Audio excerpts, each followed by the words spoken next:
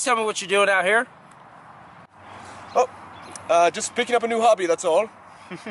How do you do? Alright, listen here, son. You want to start? You gotta start from the bottom.